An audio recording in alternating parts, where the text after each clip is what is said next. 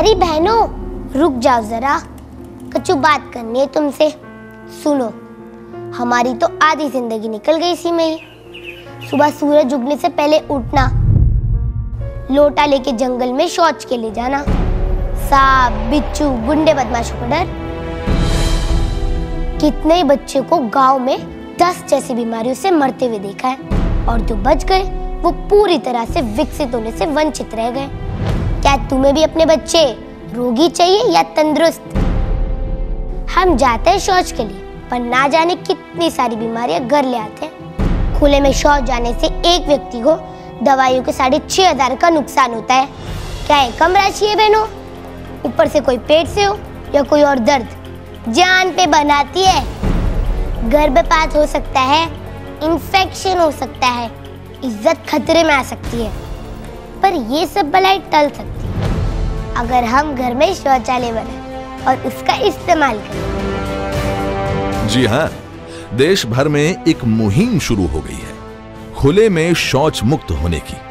अभी पाँच महीने पहले ही की तो बात है। छत्तीसगढ़ की कमली बहन ने सबसे पहले अपने घर में शौचालय बनवाया और उनको देखकर फिर पूरे गाँव ने अपने घरों में शौचालय बनवाए।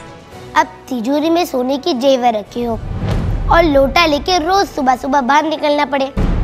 यही बात छत्तीसगढ़ के जशपुर ज़िले के साना गाँव की सरपंच काजल रॉय को मंजूर न थी। उन्होंने अपने गहने गिरवी रख दिए और अपने घर के साथ साथ पूरे गाँव में सौ शौचालय बनवाए।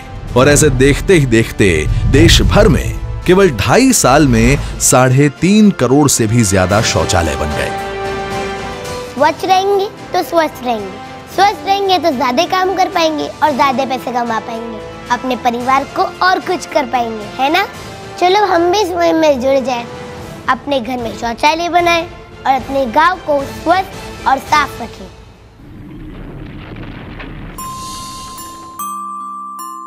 नमस्ते दीदी, मुबारक हो। आपने अपने घर पे शौचालय बना लिया। पर कभी आपने सोचा है कि स्कूल में पीने का पानी और शौचालय अगर नहीं होता तो हमारे बच्चों को दस, पीलिया और अन्य कितनी सारी बीमारियाँ लग सकती हैं। हमारे फूल जैसे बच्चे हमेशा के लिए कुपोषित रह जाते हैं। और सबसे बुरी बात, हमारे बच्चों की पढ़ाई लिखाई सब बर्बाद हो जाती है। पर लड़कियाँ तो बड़े होते ही स्कूल छोड़ देती है। इस बात के डर से कि स्कूल में अगर टॉयलेट नहीं है तो उन दिनों में अपना ख्याल कैसे रखेंगे? पर अब भारत देश ने ठान लिया। हर स्कूल में शौचालय बनाने की।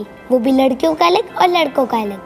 साल दस साल में लाखों स्कूल में टॉयलेट भी बने हैं और लाखों स्कूल में सैनिटेशन प्रोग्राम भी चालू हुए हैं।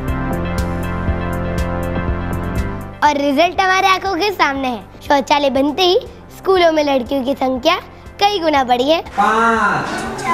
और उनकी पढ़ाई भी। तो दीदी आपको बच्चों को खूब पढ़ाना है और खूब लिखाना है। और स्वस्थ भी रखना है, ठीक है?